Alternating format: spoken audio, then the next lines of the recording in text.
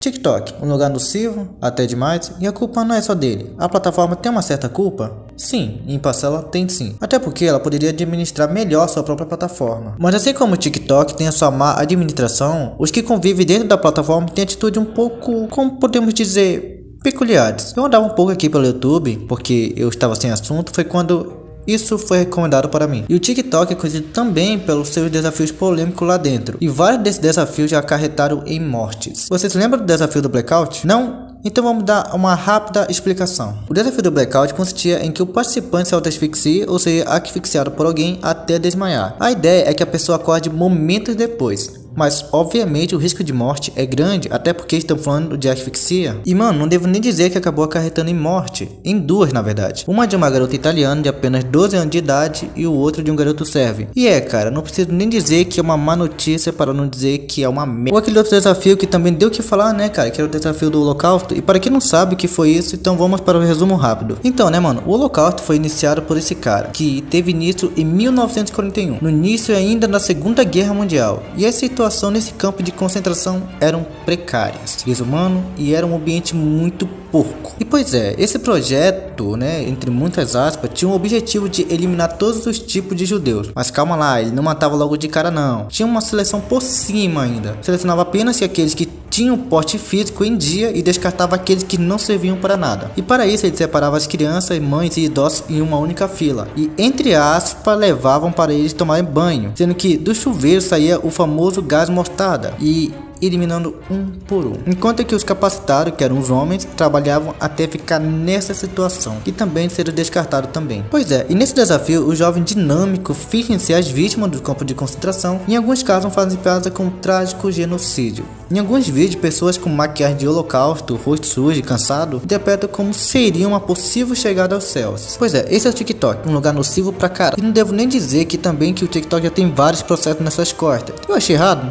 Obviamente que não. Por mim, tem mais que se for. E recentemente apareceu uma garota lá no TikTok que grava seus vídeos com sua falecida mãe. E né, cara, acaba ganhando umas views em cima disso. E eu não vou falar o óbvio aqui, né, cara? Até porque ninguém vai ter uma opinião contrária à minha. Já não bastam vários youtubers querendo farmar views em cima de casos que envolvem na maioria das vezes mortes. Claro, de um tempo pra cá, as coisas aqui no YouTube vem melhorando e muito, mas no caso do TikTok parece que nem sequer tomam consciência da parada. Mas fazer o que, né? Estamos falando de TikTok, o que, como eu disse, o lugar mais nocivo e cheio de peculiaridade. Já que, né, o aplicativo chinês está envolvido em diversas tretas, principalmente com questão de dados, já que foi acusada de enviar dados para a China, além de também já ter enganado o próprio Google para roubar dados de usuários. Pois é, não dá para negar que a proposta dessa rede social foi algo inovadora, simplesmente pessoas criavam vídeos entre 15 a 60 segundos para postar e já era sucesso na certa. Então crescer no TikTok é algo muito fácil também. Foi por isso que o aplicativo explodiu na época. Mas o que era para ser apenas uma rede social saudável, onde pessoas postavam seus vídeos de uma maneira saudável, acabou se acarretando em várias polêmicas e processos simplesmente pela má administração. A administração é o mínimo que vocês podiam fazer, né, cara? Até porque o que não falta no TikTok são crianças, e principalmente crianças. E uma criança vendo essas merdas nocivas simplesmente vai achar normal.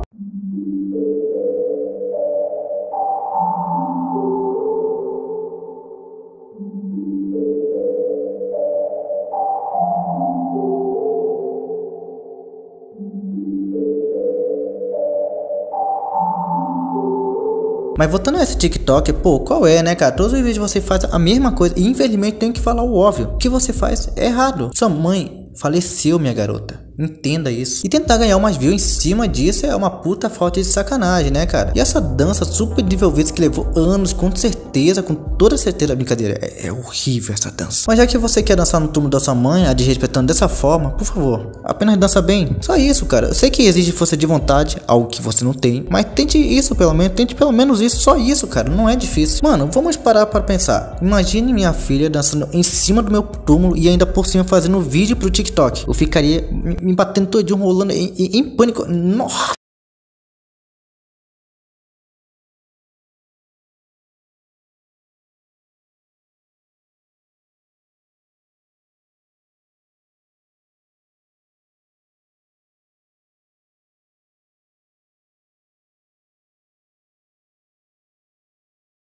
Olha, cara, eu vou ser bem sincero, em relação a isso, eu não acho que ela teve alguma intenção com esse vídeo. Creio que assim como qualquer outro filho, ela ama sua mãe. E eu não falo isso de merecer os pais, até porque os pais são importantes na formação de um filho. Então, os pais são sim amigos do filho. Até porque o meu foi essencial para ser quem eu sou hoje. Claro, o que ele ensinou para mim, guardo até hoje. Mas depois que cresci, percebi que certas coisas que ele me falava não eram assim. Até porque as coisas mudam, mas com a mãe é algo mais próximo, porque as mães nos veem crescendo e acompanham a gente desde a nossa fase inicial até a gente entender como gente. Ela teve uma atitude filha da puta fazendo isso? Sim, ela teve. Mas assim como eu tenho amor pela minha mãe, ela também tem pela dela. Então não faz o menor sentido ficarem atacando a menina. Porque, como eu disse, tenho certeza que ela não teve nenhuma malícia gravando isso. E lembrando que compreender não é o mesmo que justificar. E eu estou falando isso porque eu não quero que ninguém fique pensando que estou justificando o ato dela. Até porque, como eu disse, ela teve uma atitude horrível. Mas não é motivo para atacarem ela. Foi desrespeitoso? Claro que foi. Mas isso não significa que ela não amava a mãe dela. Se coloca no lugar dela, de quando ela perdeu a mãe dela. Eu não quero nem imaginar como foi. E não quero nem pensar como ela perdeu uma mãe. E muitas pessoas resumem em uma palavra, sendo que pode ser além disso. Estamos falando de mãe, uma amiga que lhe acompanha até o fim da sua jornada nesse mundo. E a pessoa resume a uma palavra, como se soubesse como é perder uma mãe. Por favor, pare. Você não sabe como é perder uma mãe. Mas, voltando a ela, pessoas da minha geração precisam pelo menos entender que fazer TikTok, sacar um celular e fazer danças peculiares não é algo muito respeitoso. Já pensou o morto levantar do seu caixão e falar para o TikTok: Ô irmão, para com essa merda aí em cima, quero descansar em paz. Tá maluco, rapaz? Então não vou só escolhambar ela também, até porque, como disse, eu acho que ela não teve nenhuma malícia com esse vídeo, mas tem mais respeito pela sua própria mãe. Vamos respeitar a ocasião, por favor. Bom, eu queria falar sobre essa TikTok, até porque eu achei bem interessante. Eu vi as pessoas atacarem ela como se tivesse alguma malícia com isso. Então, por favor, eu peço, não seja só mais um e ir lá nos comentários e hatear ela. Até porque não é preciso fazer isso. Bom, e por fim, pessoal, vou ficando por aqui. E valeu aí por ter assistido até aqui. E até logo.